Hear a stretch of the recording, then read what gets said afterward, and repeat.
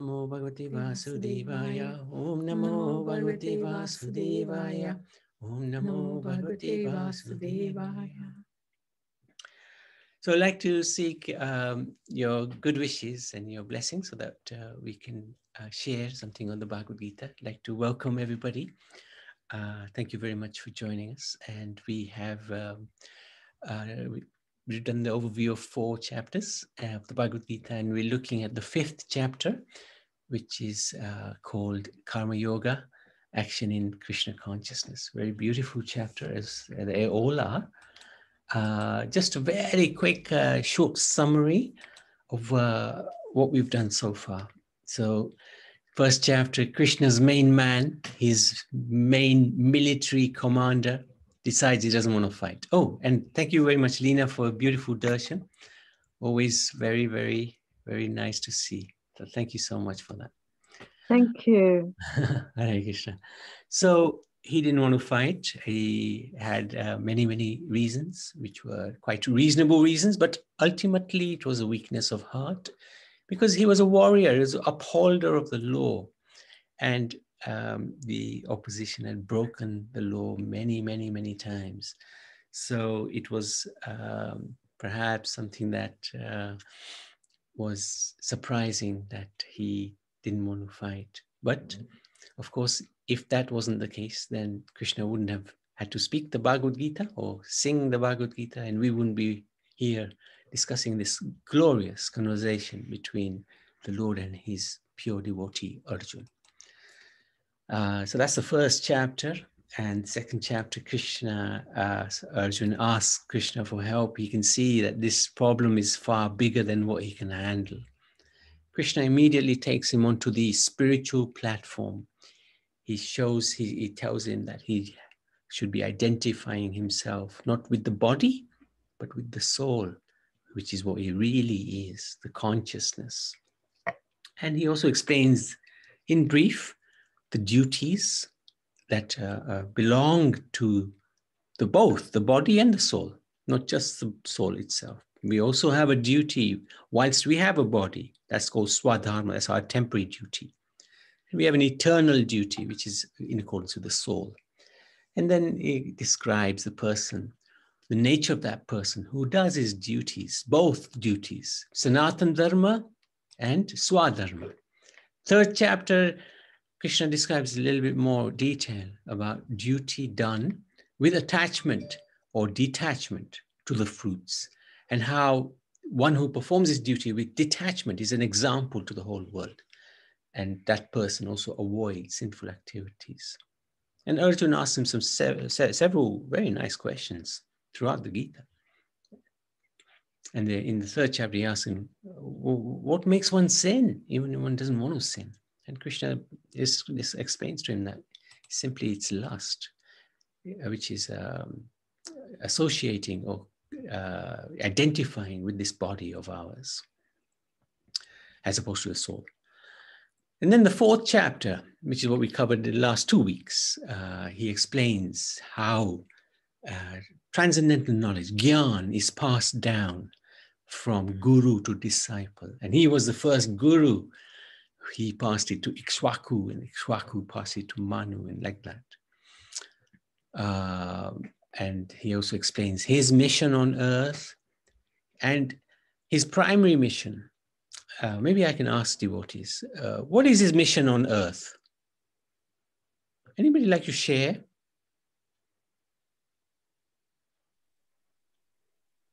Shruti. Yes. Hare Krishna. Actually, uh, yeah, go on, go on, Indulekha. Yeah, go on. No, whoever wanted to go ahead, please go ahead. No, no, go on. Yeah. But actually, you're a seasoned de- devotee. You know the answers. I will not talk. Okay, I will not talk. no, no, you can. But uh, just Shruti. yeah, Shruti, did you want to say something?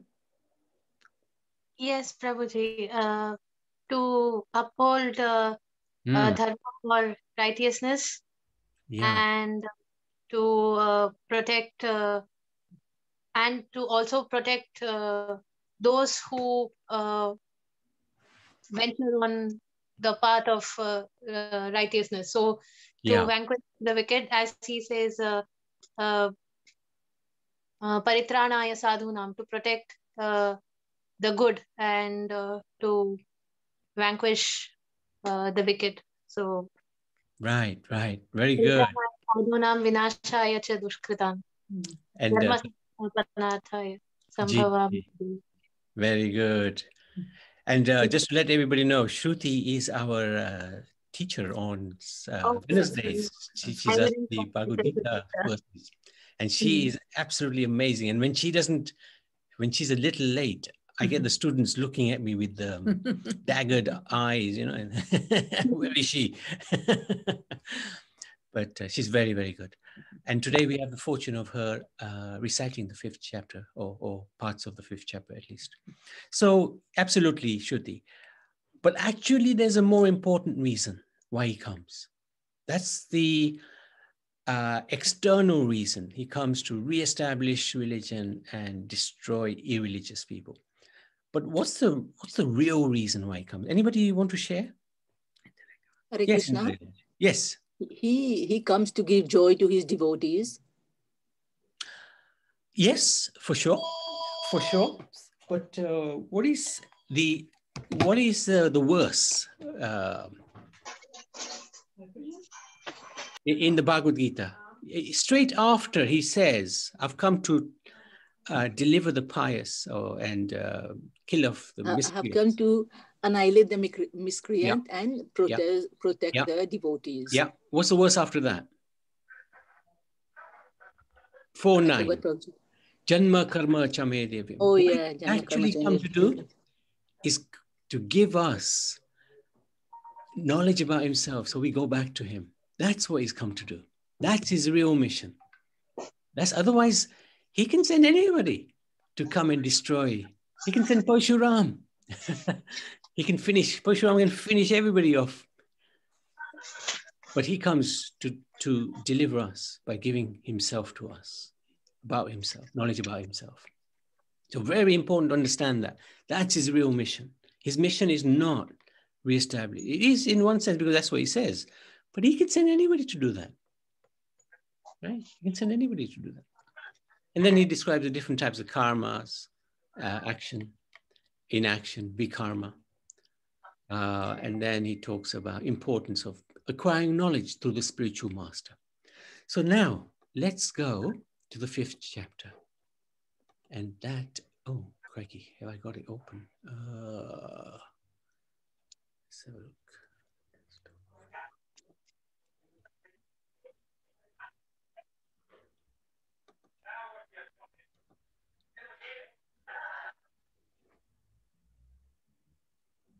Okay, fifth chapter. Let's hope I can open it. Ah, yes. The, oh, okay. Where's the?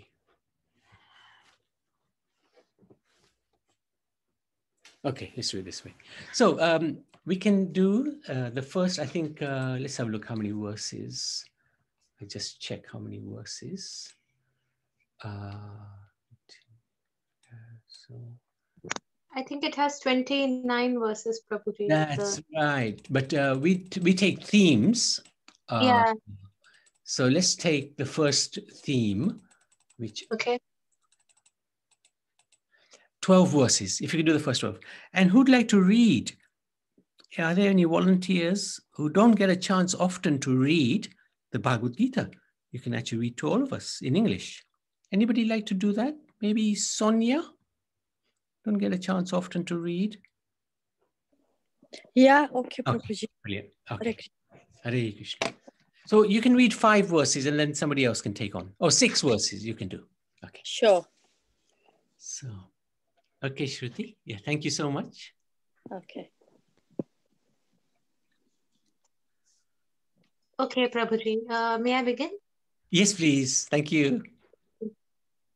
ॐ नमो भगवते वासुदेवाय। ॐ श्री परमात्मने नमः।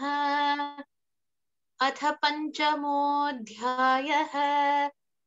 अर्जुन उवाच, सन्न्यासं कर्मणां कृष्ण, पुनर्योगं च शंससि। यच्छ्रेय एतयोरेकं तन्मे ब्रूहि सुनिश्चितम् Hare Krishna. Uh, Arjuna said, O Krishna, first of all, ask me to renounce work, and then again you recommend work with devotion.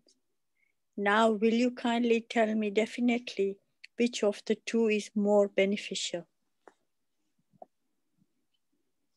श्रीभगवान् उवाच। सन्न्यासः कर्मयोगश्च। निःश्रेयसकरावुभौ। तयोस्तु कर्मसन्न्यासात्। कर्मयोगो विशिष्यते। The blessed Lord said, The renunciation of work and work in devotion are both good for liberation. But of the two, work in devotional service is better than the ren- renunciation of works. ज्ञेयः स नित्यसन्न्यासी यो न द्वेष्टि न काङ्क्षति निर्द्वन्द्वो हि महाबाहो सुखं बन्धात् प्रमुच्यते One who neither hates nor desires the fruits of his activities is known to be always renounced. Such a person, liberated from all duality, easily overcomes material bondage and is completely liberated. O mighty armed Arjuna.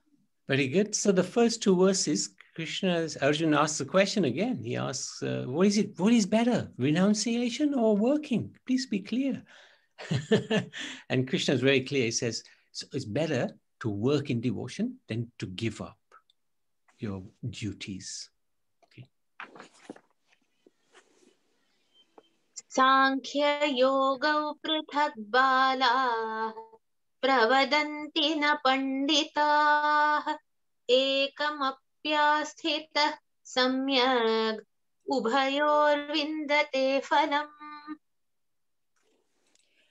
Only the ignorant speak of karma yoga and devotional service as being different from the analytical study of material world, sankhya, Those who are actually learned, learned say that he who applies himself well to the one of these paths achieves the results of both. यत्साङ्ख्यैः प्राप्यते स्थानं तद्योगैरपि गम्यते एकं साङ्ख्यं च योगं च यः पश्यति स पश्यति One who knows that the position reached by means of renunciation can also be attained by works in devotional service, and who therefore sees that the path of works and path of renunciation are one, see things as they are.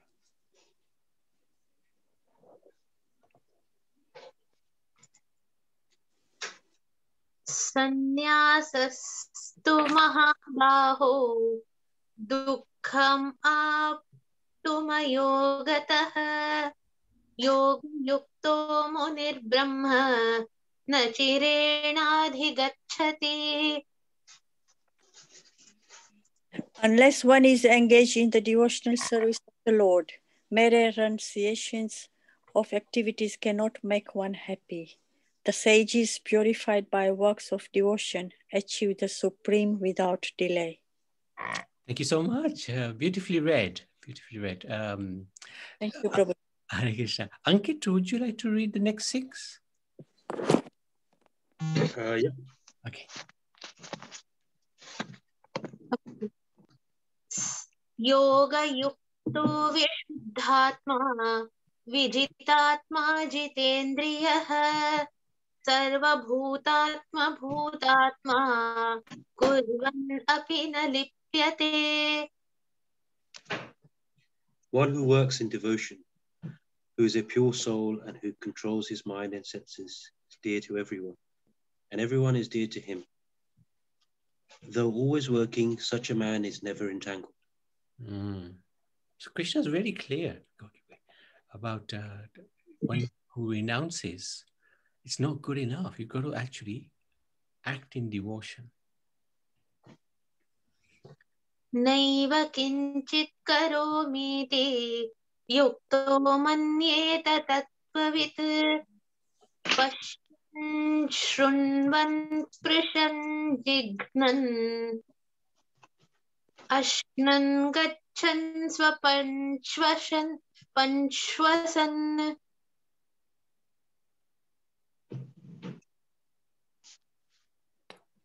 Oh, you can do the next one as well. Okay, okay.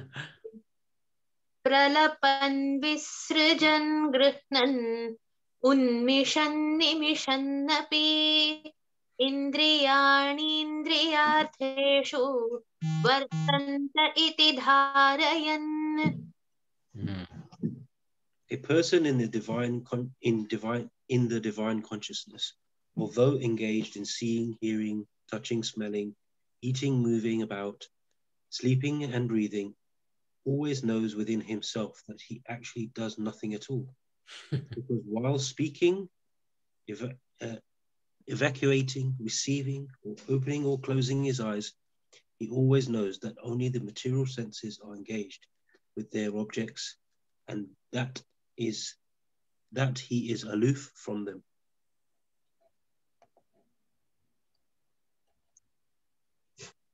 ब्रह्मण्याधाय कर्माणि सङ्गं त्यक्त्वा करोति यः लिप्यते न स पापेन पद्मपत्रमिवाम्भसा One who performs his duty without attachment, surrendering, surrendering the results unto the Supreme Lord, is unaffected by sinful action, as the lotus leaf is untouched by water. This is really wonderful verse. Doing the duty, doing whatever is a swadharma, but if we're not attached and we're surrendering the results onto the Lord, that person is never affected by sinful acts. So this is karma yoga at its best.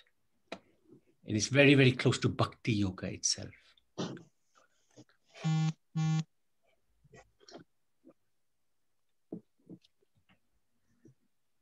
कायेन मनसा बुद्धा केवलैरिन्द्रियैरपि योगिनः कर्म कुर्वन्ति सङ्गं त्यक्त्वात्मशुद्धये The yogis, abandoning attachment, act with body, mind, intelligence, and even with the senses, only for the purpose of purification.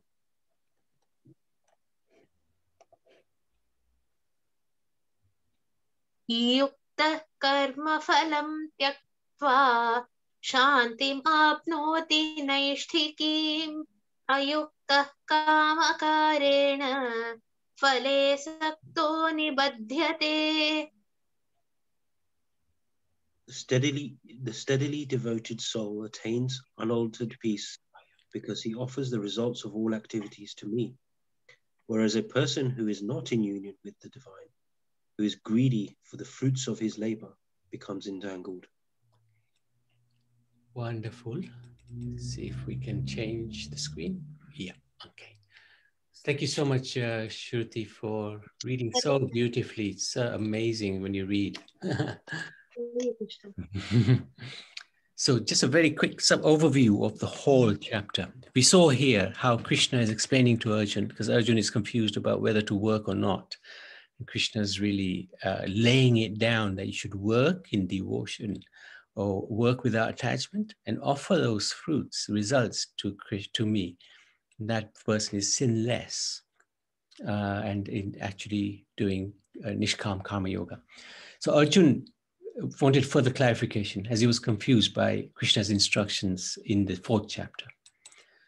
And the Lord guides him how to turn work into worship, outwardly performing all actions. So the devotee will do um, whatever it needs to be done.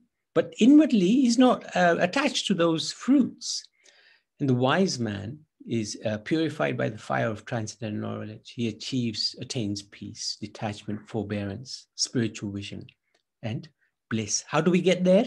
So, every journey starts with a step. And in this chapter, Krishna explains how to take steps in the right direction. This is the beauty of the fifth chapter. There are steps leading to further entanglement in worldly complexity, but there are also steps leading to a life of liberation, freedom and tranquility. So there are four themes in this chapter. First one is Nishkam Karma Yoga. We've read through the 12 verses where Krishna is explaining Nishkam Karma Yoga. Do your duty, don't be attached to the results, you remain sinless. And you offer those results to Krishna, to the Lord. So the results are uh, surrendered to the Lord. Then we'll see the next step uh, uh, after we read the next verses the result of such action is that we will realize we're not actually doing anything. The soul is desiring, but the, the action, the actual uh, action is done by the body, which is controlled by the devatas. And also we have the permitting factor of the super soul. And then there's a third theme. Uh, when taken shelter of the Lord, the soul will see all souls with equal vision. You'll see a fantastic verse that we'll come across. And the Lord gives the first hint of Astanga Yoga, because the next chapter is all about Astanga Yoga. So um, the Lord gives him a hint about Astanga Yoga. And then the very last verse, 29th verse, I don't know if we'll get there today, but talks about it's the peace formula. Very powerful verse. So the first theme, the first 12 verses, uh, Arjun still considers work and renunciation to be mutually exclusive, i.e., I can't, uh, I have to go to the forest. I can't do my duty because it'll entangle me. No, no, the duty will not entangle you as long as one is not attached to the fruits and offers the results of those activities to the Lord. So Krishna says, an individual who works in spiritual consciousness is automatically elevated to the platform of renunciation. Even though he's working, he's actually renounced. If one engages in righteous work, offering the results to God, and all the while keeping alert to the ultimate goal, such work becomes worship. Often we say, work, my work is my worship. No, it can't be unless it is related to the Supreme Lord by offering the results of that work to the Lord. That's how you connect it to God. It's not that I just go to work and earn a living for my family and my work is my worship. Uh-uh. There has to be God connected in that, in the center of that somewhere. For most people, it would be premature and detrimental to sever themselves from worldly relationships and duties in pursuit of spiritual perfection. For most people, that is the case we can't just detach ourselves because we'll ultimately fall down and come back. But the path of karma yoga offers this progressive means of spiritual development while st- simultaneously staying in this world. So it's a, um, a very sweet way of connecting with the Lord, but not rejecting everything around us. We serve the Lord by engaging or dovetailing everything we do to spiritual life just uh, and then he gives the example doesn't he in this uh, chapter in this uh, first 12 verses that the lotus leaf surrounded by water but it's always dry. So the, we can stay in this world but we cannot be uh, destroyed by it. We can remain aloof from it from its influences. So what's the lesson to take from this? How do we purify our work obligations? One way to do that is offer a portion of that results to the Lord. Whatever you are comfortable with, you should donate to the Lord and his service and to the devotees and their service. Whatever that is, whatever you're comfortable with, make a start. Make a start. And Rupa Goswami had a very high standard. 50% he would go to the Lord, 25% he would leave for the family, and then 25% keep as reserves. but you do whatever you think is practical for you, but make a start somewhere. I'm sure most of you, all of you are already doing that. So do a little bit more. This is the idea. We give a little bit more. We stretch ourselves for the sake of bhakti. That's always a very good thing to do. Okay, uh, so let's go to the next one. That's only a few verses actually, five, four, 13, 14, 15, 16. Yeah, four verses.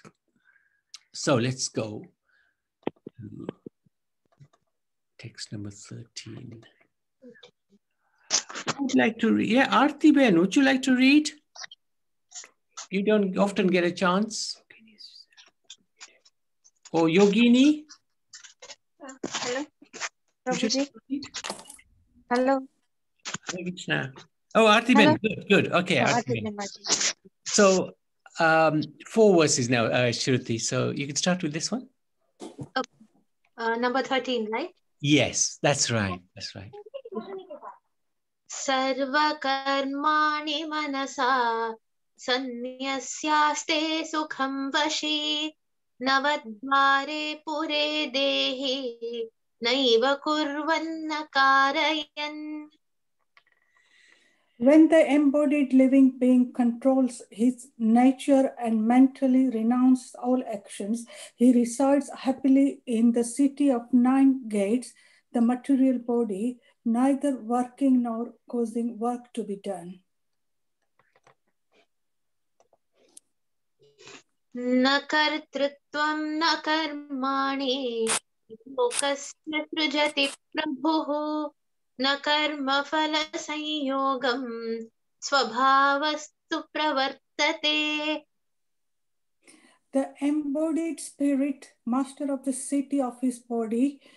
does not create activities, nor does he induce people to act, nor does he create the fruits of action. All this is an, enacted by the modes of the material nature.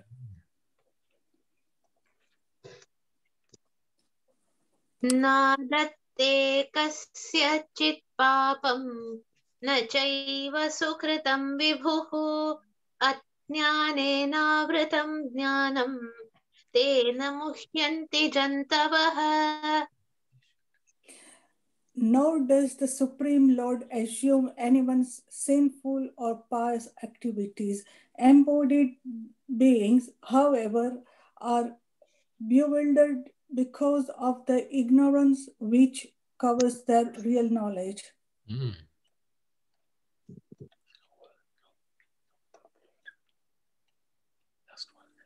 ज्ञानेन तु तदज्ञानं येषां नाशितमात्मनः तेषाम् आदित्यवत् ज्ञानं प्रकाशयति तत्परम्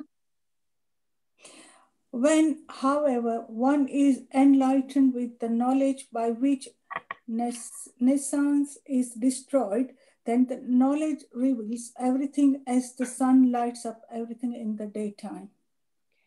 Brilliant. Thank you so much, Arti Ben. Thank you, Prabhuji. Hare Krishna. So the second theme, it's all about uh, very interesting. This is quite a difficult philosophical point that Krishna gives. For us, it's um hard to get into our consciousness, but let's see if we can. While living in this world, one can easily assume the mentality that we are the directors, the controllers, and the breadwinners. But in reality, Krishna is explaining in this in these four verses that there are three doers in any activity, not just us. And our, our aspect is a lit, is a small aspect. The individual soul, the soul can only desire. That's the only thing we can do. I want this. And then suddenly we are thinking, I have achieved this. But actually, Krishna is explaining, you haven't achieved anything. All you've done is you've had a desire, a thought to do something. What to speak of controlling the results of our activities? We are barely in control of even the physical and mental tools with which we perform those activities. We hardly know anything. We don't even know how the hair on our head grows. Anyway, so who are these three doers? We are but only insofar as desiring something. Then the super soul. Super soul sanctions everything. He resides within the heart. If it wasn't for the su- super soul uh, sanctioning, we couldn't do anything. He allows it to happen. And the third doer is the material nature. The devatas, the demigods, the ability to perform activity comes from the devatas who arranges the necessary facilities. we can give an example. I want to move my hand. So I'm moving my hand. Actually, the desires come from the soul to move the hand. But the soul cannot actually control this. The desire is there. The super soul within the heart is sanctioning it. He's allowing the demigods, the demigod of hands or earth or whatever it is, uh, water, fire, air, to get together, have a quick meeting, and they decide, yes, let the man move his hand. That's what he desires. The super soul has sanctioned it. so it, it it happens automatically pretty much, but actually there's a big science behind it. So we are thinking, because we can't see the devatas performing these activities, we are thinking I'm the doer. But actually we're not.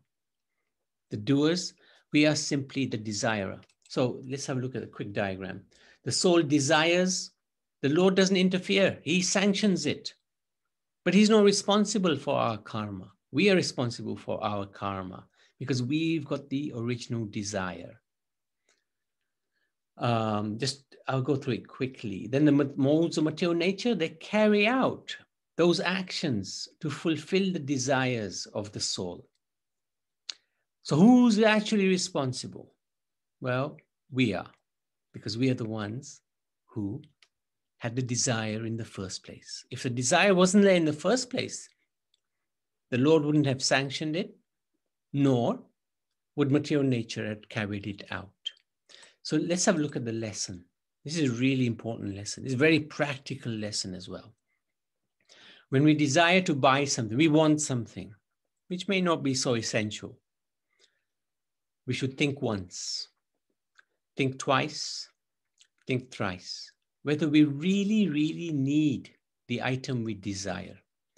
And generally, we'll find that by the time we have asked this ourselves, to ourselves, the third time, we can probably decide that we didn't need the item at all.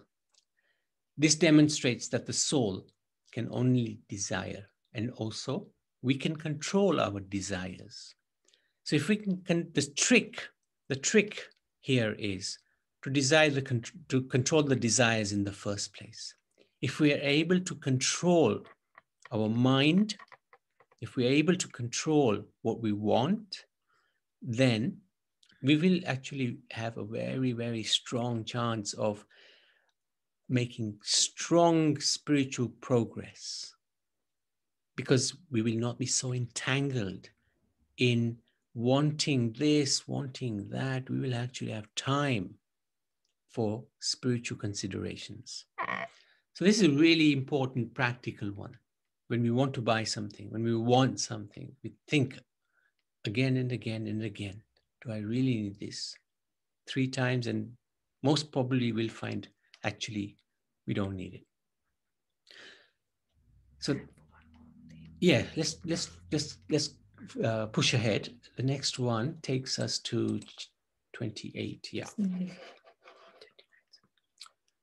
And then and then we can do the last one as well, actually. Good. Okay, let's let's see if we can finish the chapter today. Okay, so who'd like to read uh, the English translations? Please, uh. Uh, you can just unmute yourself and we'll see who is. If anybody like to volunteer. Otherwise, we'll uh, volunteer somebody. yeah, Indulekha Maj, yes, fine. So, uh, yes, uh, Shruti, please continue. Hare Krishna. Thank you so much. तद्बुद्धयस्तदात्मानस्तन्निष्ठास्तत्परायणाः गच्छन्त्य पुनरावृत्तिं ज्ञाननिर्धूतकल्मषाः Hare Krishna. When one's intelligence, mind, face, and refuge are all fixed in the Supreme, then one becomes fully cleansed of misgiving through complex knowledge and thus proceeds straight on the path of liberation.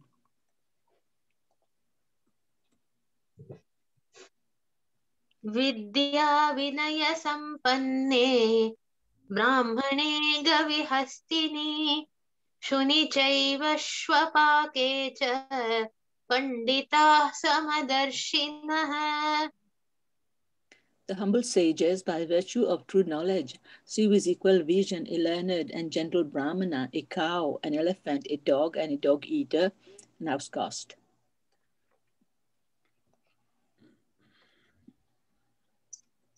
इहैव तैर्जितः सर्गो येषां साम्ये स्थितं मनः निर्दोषं हि समं ब्रह्म तस्मात् ब्रह्मणि ते स्थिताः Those whose minds are established in sameness and equanim- equanimity have already conquered the conditions of birth and death.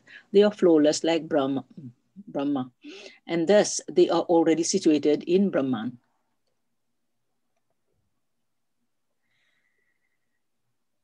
न प्रहृष्येत् प्रियं प्राप्य नो द्विजेत् प्राप्य चाप्रियं स्थिर स्थिरबुद्धिरसम्मूढो ब्रह्मविद् ब्रह्मणि स्थितः A person who neither rejoices upon achieving something pleasant nor laments upon obtaining something unpleasant, who is self intelligent, who is unbewildered, and who knows the science of God is already situated in transcendence.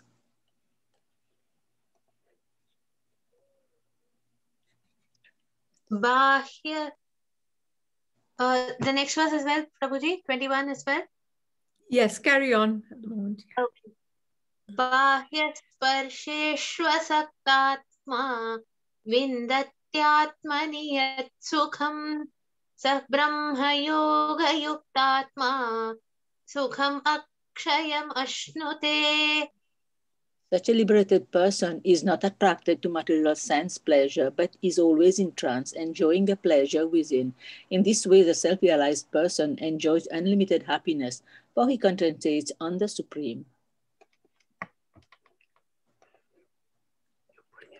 ये हि संस्पर्शजा भोगा दुःखयोनय एव ते आद्यन्तवन्तः कौन्तेय न तेषु रमते बुधः An intelligent person does not take part in the sources of misery, which are due to contact with the material senses. O son of Kunti, such pleasures have a beginning and an end, and so the wise man does not delight in them. Thank you, uh, Indra Uh, very good. I think um, Rohit. Rohit would like to read. Yes. Okay. Can I read this one? No, uh, let the, the, San- the Sanskrit first. Okay. शक्नोति हैव यः सोढुम् Uh, I apologize. Uh, my phone just dropped off. no problem. मतिहैव यः सोढुम् प्राक्शरीरविमोक्षणात् कामक्रोधोद्भवं वेगं स युक्तः स सुखी नरः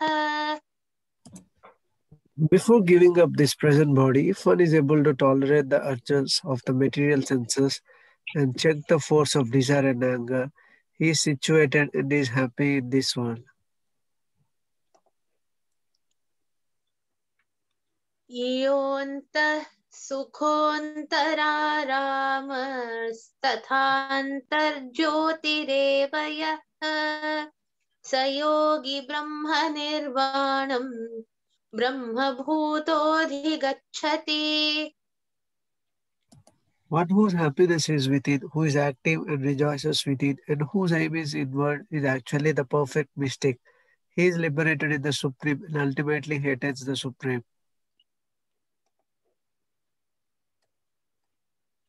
लभन्ते ब्रह्मनिर्वाणम् ऋषयः क्षीणकल्मषाः छिन्नद्वैधायतात्मानः सर्वभूतहिते रताः Those who are beyond the dualities that arise from doubts, whose minds are engaged within, who are always busy working for the welfare of all living beings, and who are free from all sins, achieve liberation in the Supreme. कामक्रोधवियुक्तानां यतीनां यतचेतसाम् अभितो ब्रह्मनिर्वाणं वर्तते विदितात्मनाम् Those who are free from anger and all material desires, who are self realized, self disciplined, and constantly enduring for perfection, are assured of liberation in the Supreme in the very near future.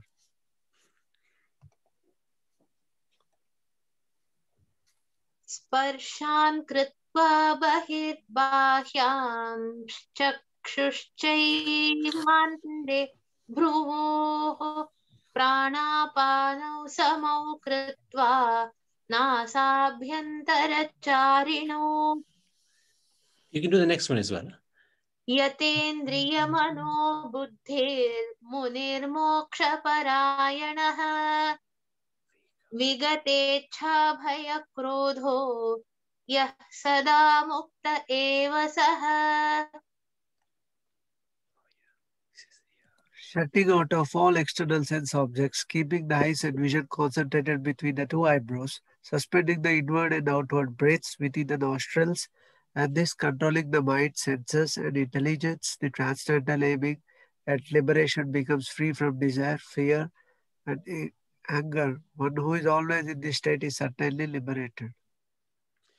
We might as well do the last verse as well. So then we've completed the whole chapter today, which is great. भोक्तारं यत्न्यतपसां सर्वलोकमहेश्वरं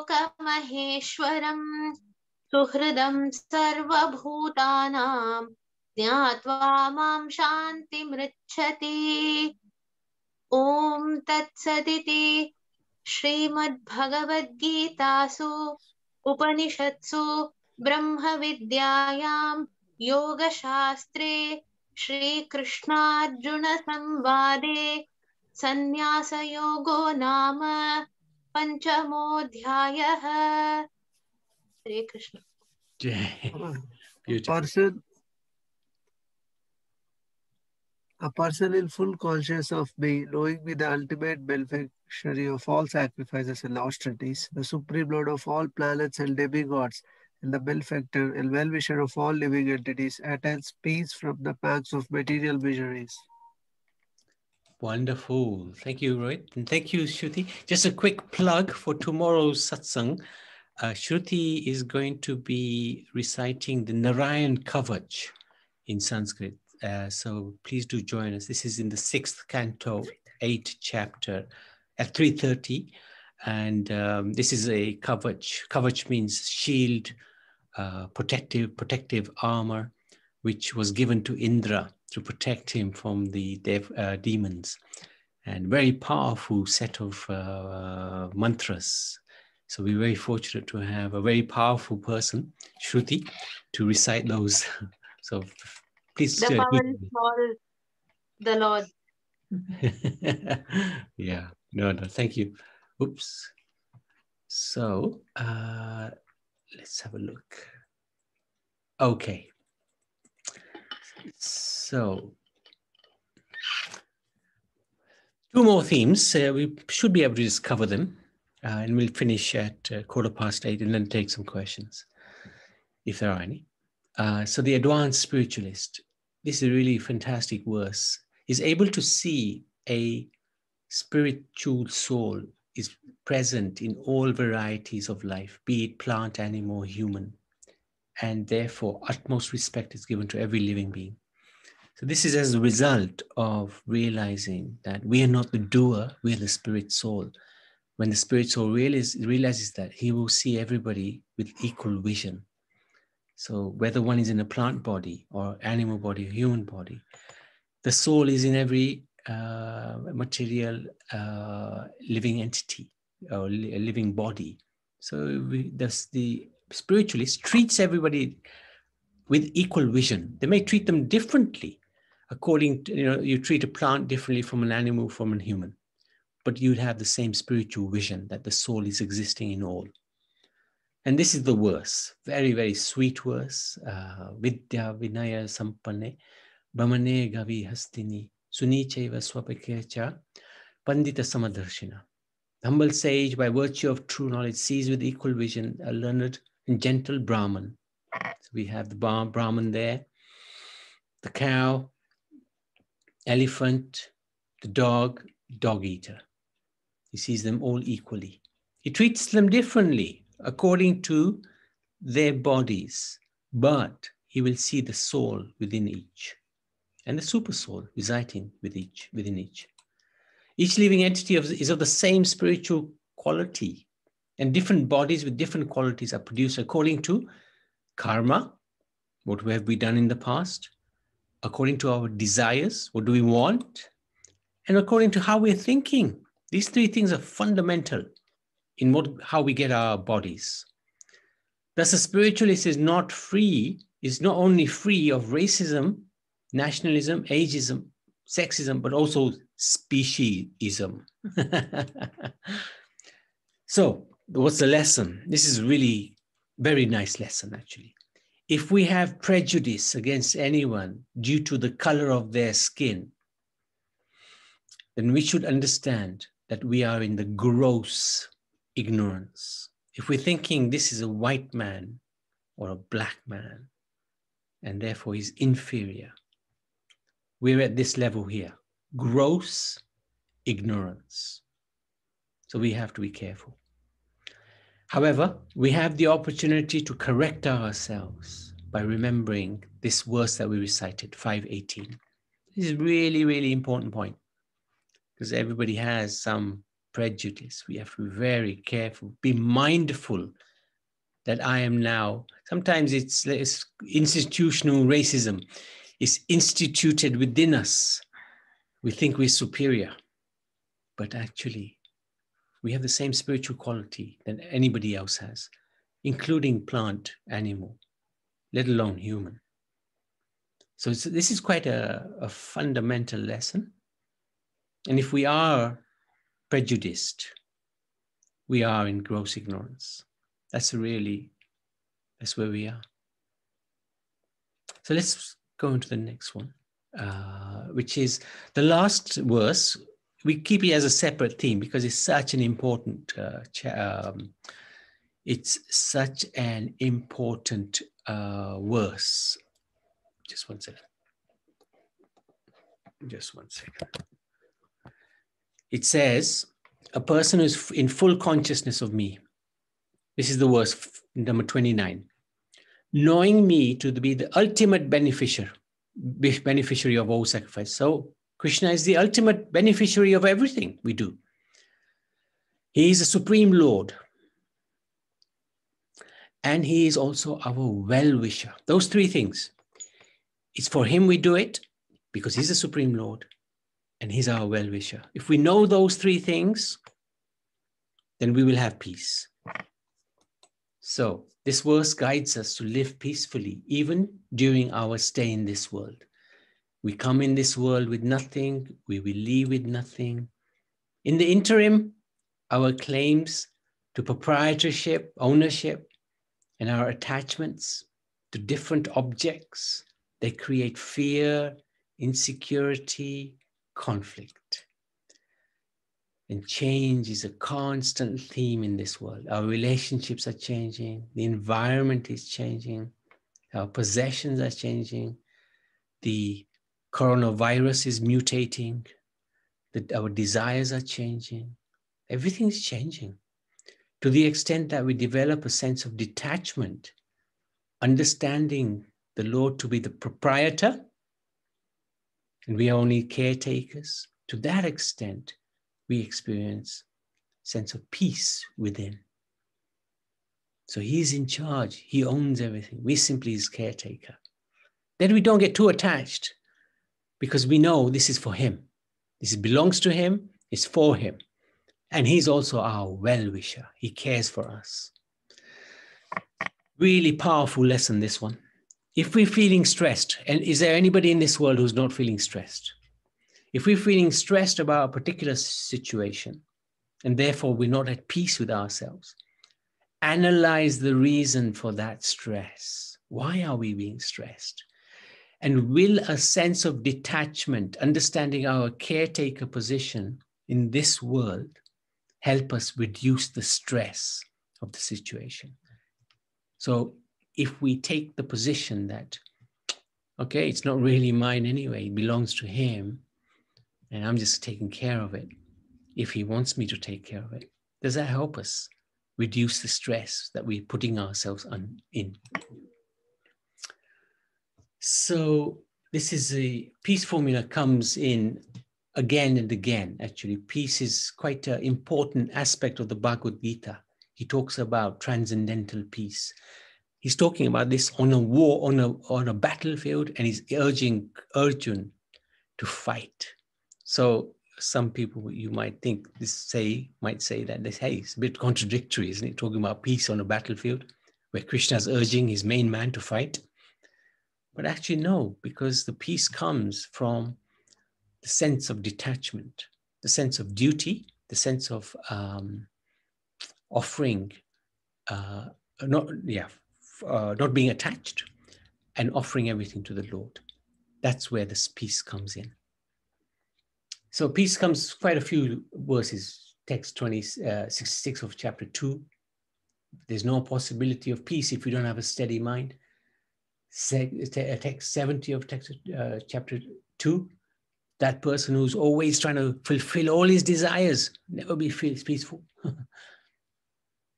439 is talking about uh, a faithful man who's dedicated to transcendental knowledge having heard having achieved it quickly he attains peace and then 512 it talks about how the devoted soul attains unadulterated peace because he offers everything to the Lord.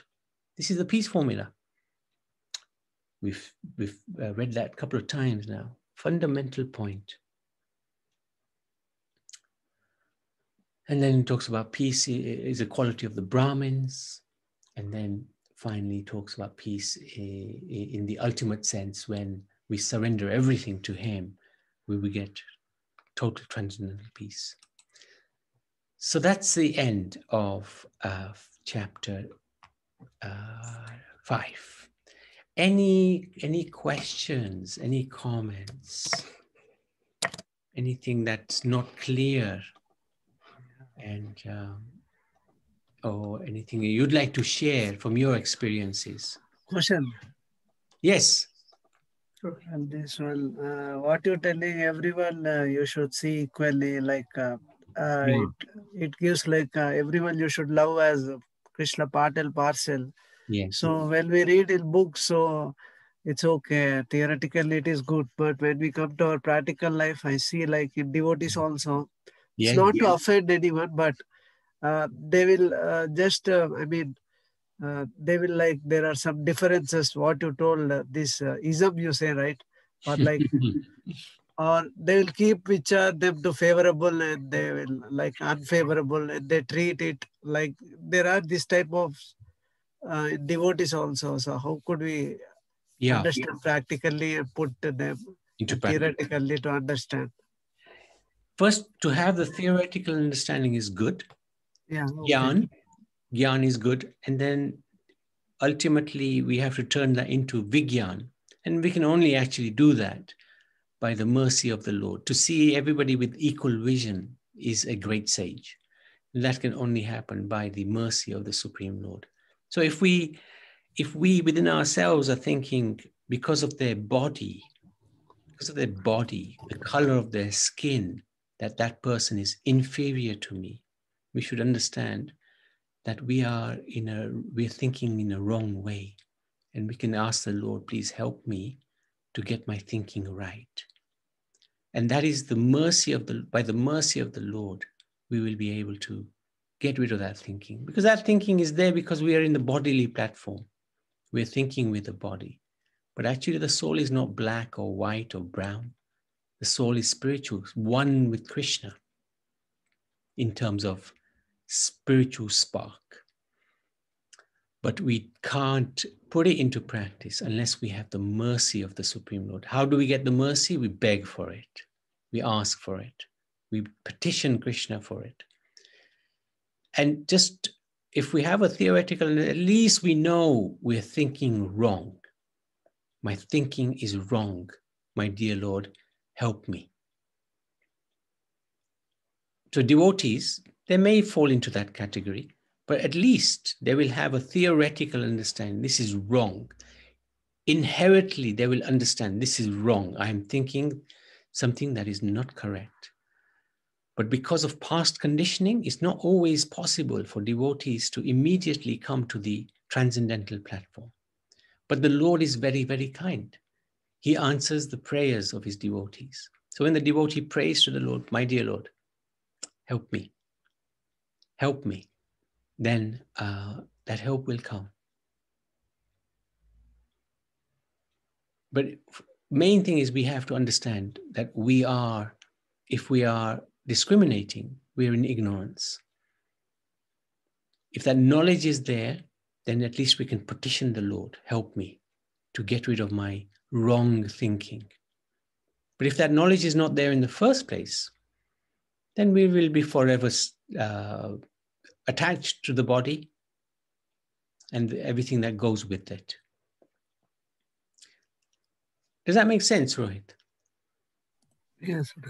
Prayer, petitioning the Lord, crying out to the Lord, please, let me stop thinking this stupid way. Ankit, would you like to add anything to that? Uh, no, I'm just uh, I'm taking it in today. Okay, thank you, thank you.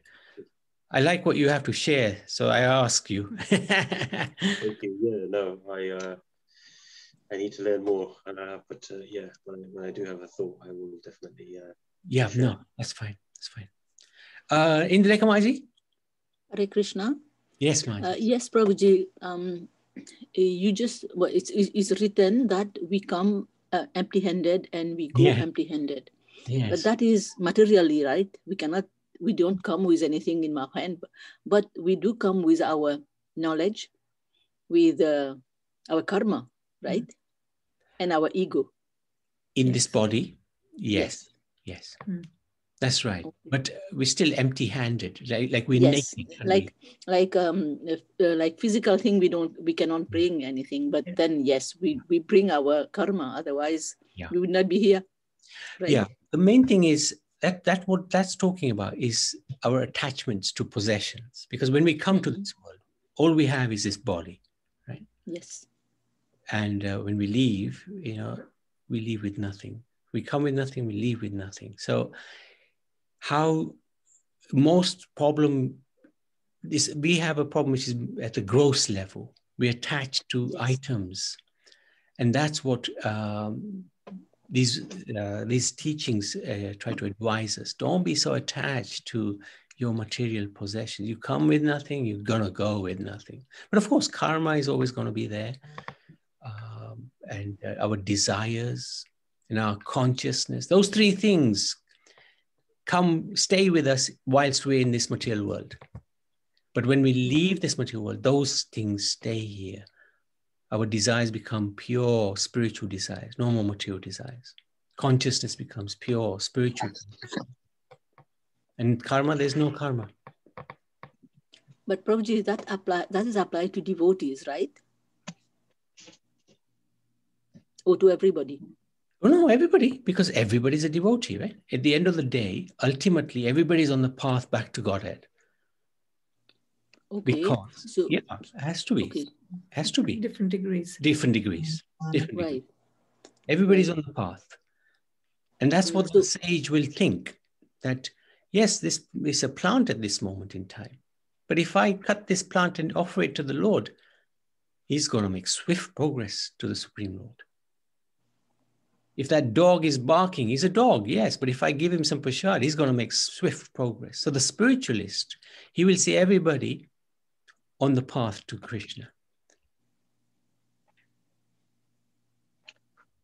There is So if, if we if we don't have any karma, so how come we come in different species? No, we karma comes with us. Nah? Eh, when we're in this material body, when we first came with from the spiritual world, there was no karma. So we were Yes. Brahma. We were the top living entity, the best of the best. But that best of the best became very proud of the best of the best and slowly glided down Mhm. uh, the the material uh, ladder, yeah, into samsara. So are you saying as animal you don't have karma? I think uh, everyone has karma because to get the animal body, we we had bad karmas. Yeah, Then then correct, we glide correct, down, right? Correct, correct, correct. Yeah, correct. Yeah, karma is once you once you're in this world, unless you're a devotee, you're right. Unless you're a devotee, you're gonna have karma.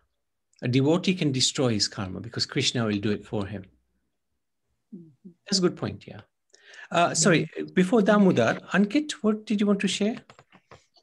No, I was just I was just pondering on, on what we were, talk, we were talking about today, and I was thinking about, you know, there is one thing we enter this world with, and we, and that's the breath, and we we enter with the breath, and we leave with the breath, Hmm. and it's something that we don't uh, often take a moment to appreciate, and uh, there is a lot of there is a lot of power in our breathing. Um, there's a lot of energy, um, and we can bring a lot of focus to our minds in our meditation when we focus on our breathing.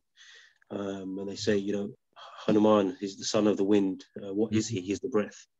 Hmm. Um, and and he, uh, I guess, everything that he sig- he signifies devotion, um, strength.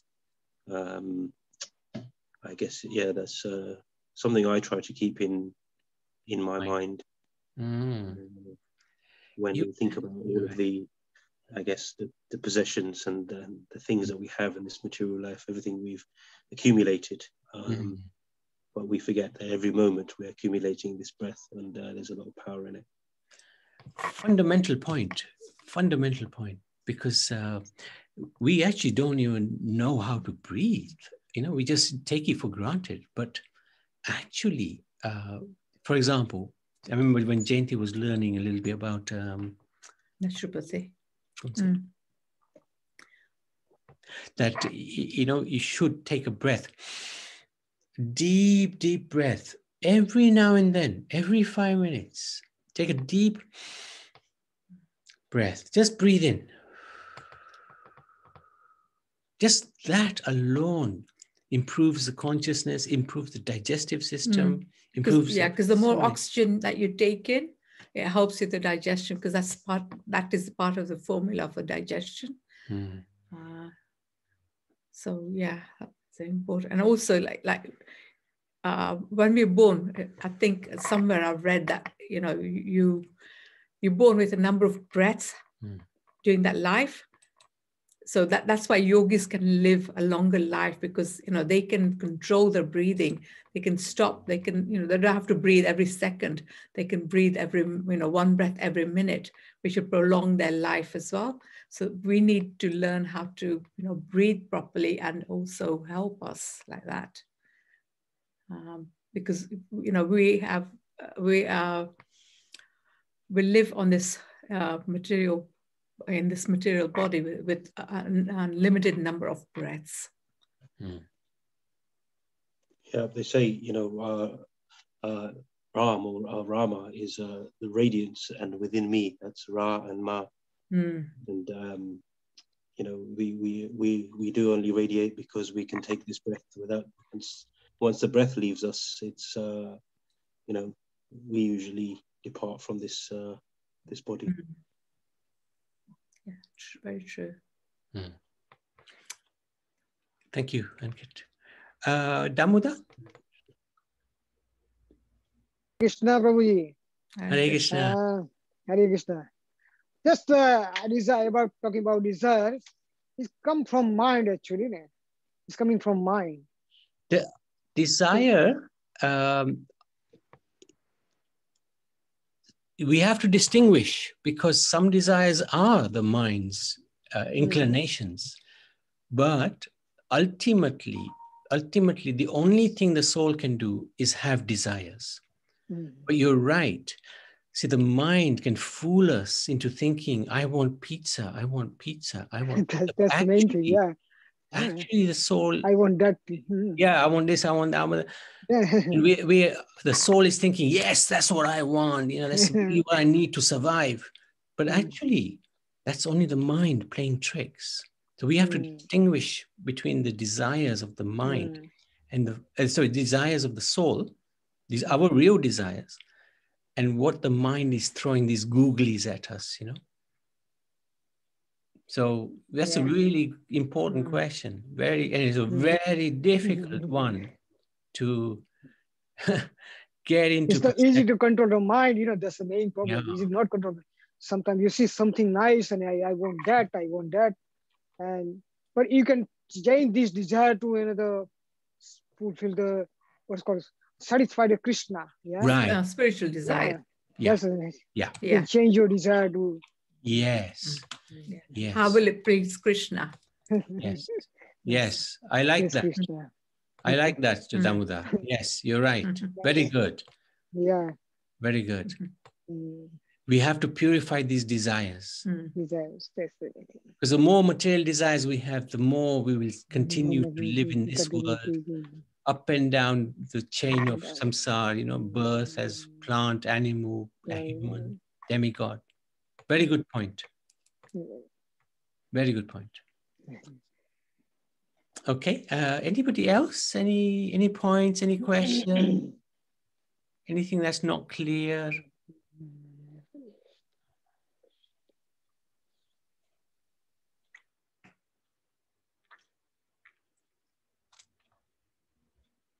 So, okay, thank you so much. Uh, tomorrow, just wanted to let everybody know that at uh,